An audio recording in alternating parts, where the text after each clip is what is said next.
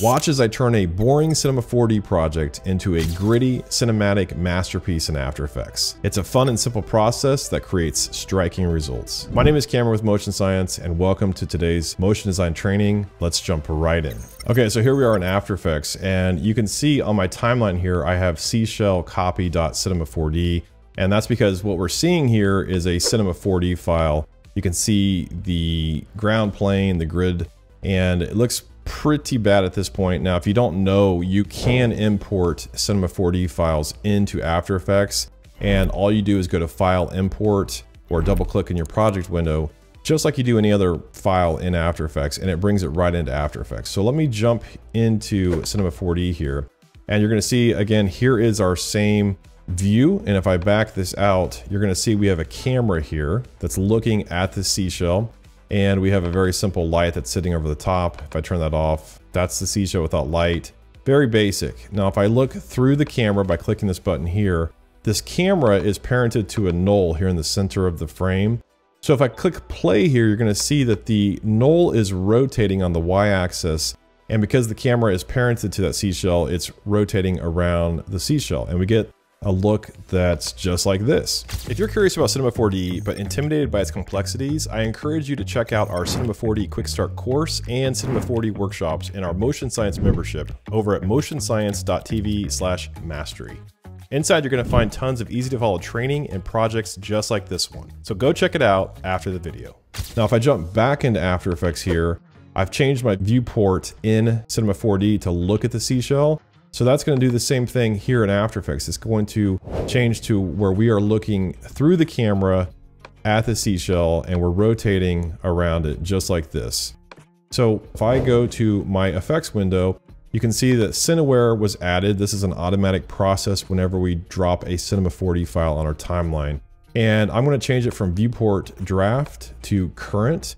And that is going to update the render to be a full resolution render like we see here. And if I close this, the only other thing I did is I applied a curves effect, very simple curves effect where I just kind of boosted some of the highlights.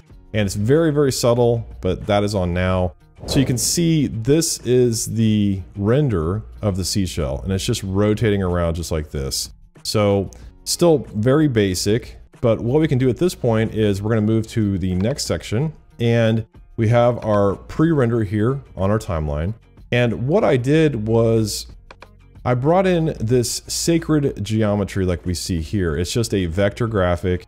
And to it, I applied a rotation from a zero keyframe to all the way to the end here of 358 degrees.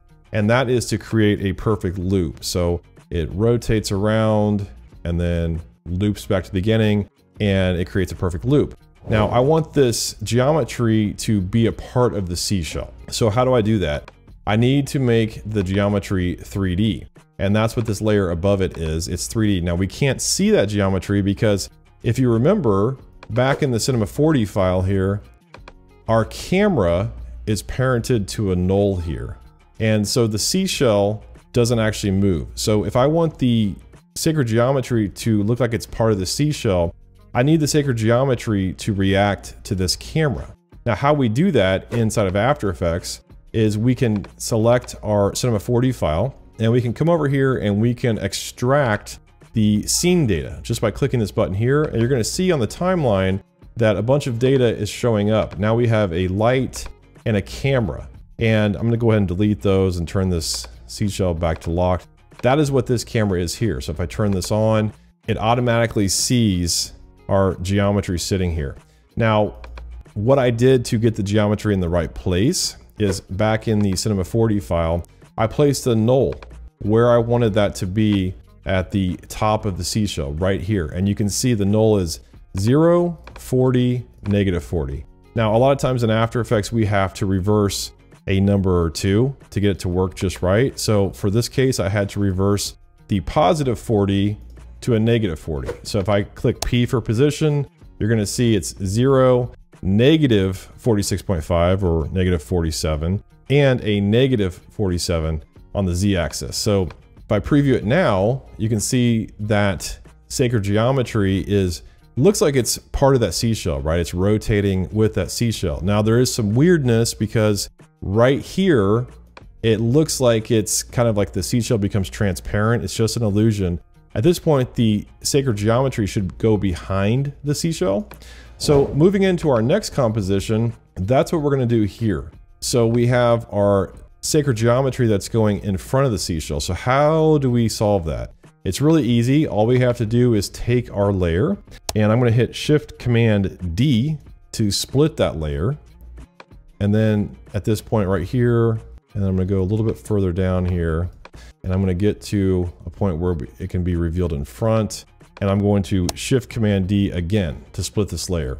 Now, I have some layers hidden here to show you what I did. And what I did was this first layer here is in front of the seashell. And then where I split it, I dropped this sacred geometry behind the seashell. You can see it's behind it. So now it's truly behind the seashell.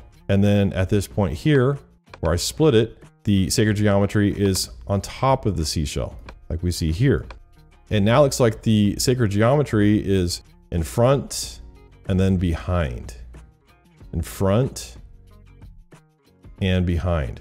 So it's a pretty cool way of compositing 2D graphics with 3D graphics. So let's move on to the next part here. What I wanted to do next was bring in some type of interesting background. So what I have here is I found this photo of a forest. And right off the top, this looks pretty bad. You can see it just doesn't match. It's, you know, the seashell is black and white, the sacred geometry is black and white, and we've got this very saturated, vibrant forest. So what I did is I applied a few effects here. So the first effect I applied was a tint to make the background black and white, just like so.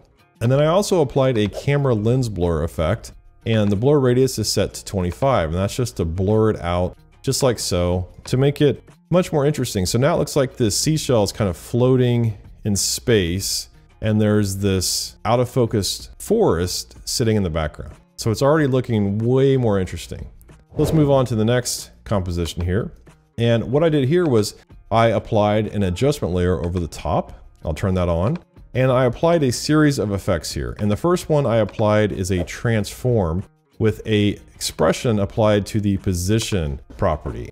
If I hit UU on the keyboard, you're gonna see under position, I've applied a wiggle expression of 50 times per second. That's what the 50 is. I want to move a value of up to three pixels. So now when I play this back, you can see it's just a shake that's happening. And you know, for some people, this is gonna be too much. For this particular example, I think it worked really well. So that's the first thing I added. Next, after transform, I added a CC vignette and I cranked the value up quite high. So this is without and this is with. And the vignette is just creating emphasis on the center of the frame here. It's just darkening up the edges and making the center of the frame more of our focal point for our eyes to look. Next, I applied two versions of the built-in After Effects Glow. The first one I applied is just a threshold of 60, a radius of 172, and an intensity of 0.6. And after that, I applied a second glow, again a threshold of 60, a higher radius of 462, and a lower intensity of 0.3. So let's just take a look at this now, but it's already getting much more interesting at this point. So now our next composition is another adjustment layer over the top. So I'm gonna turn that one on. And for this one, I applied a red giant effect called Misfire. And you can see it, it adds even more contrast, it darkens it up, it actually adds a little bit of a blur here. And you can tell under effects, I've got softness applied, and that value is fairly small. I've got saturation applied, I've got splotches, dust, and lastly, a post contrast filter applied. And with that third party effect, it's starting to give it this really interesting old school, old film vibe. It's got a lot of flicker to it. And we're almost there. It's really, really close. It's all about the subtleties at this point, just to make it even better. One more adjustment layer, and you may ask why I didn't apply all these effects to one adjustment layer. I like to have flexibility in my workflow. So a lot of times I will apply certain effects to certain adjustment layers and then layer those adjustment layers. We're gonna turn that one on the top. And the first one I have applied here is a small camera lens blur, a radius of three. And that's just to soften things up just a little bit more at this point. Next, I've got a posterized time applied of 16 frames per second. And what that's gonna do is it's gonna slow down that really smooth motion and give it a more of a stop motion feel. But you can see, especially like in the flickering, it makes it look really old school and it's a really cool look. And then the last effect I applied here is a uni exposure blur. This is again by Red Giant. And I've got a keyframe here set at the beginning, and this is just to transition things on. So I will turn that on and you can see it's just kind of blown out, very blurry. But as we move forward, it gets less and less to finally reveal our image here. And then as we move further down, again, I added a few keyframes here just to give it some visual interest. So kind of over the course of two frames, it gets blurry and hot and then goes back down to nothing. So let's preview this and take a look at it. And there you have our final render. Pretty cool stuff, right? If you look at what it was to begin with and what we created just from a very simple Cinema 4D project to this, it shows you the true power of compositing in After Effects. If you've enjoyed this After Effects training, you're gonna love the in-depth version available in our Motion Science membership. Inside, I take you through my entire creative thinking process in much greater detail, and I provide you with the project file to explore. By diving deeper, you're gonna learn how to think like a professional motion designer and solve creative challenges and elevate the quality of your work. I'll see you next time.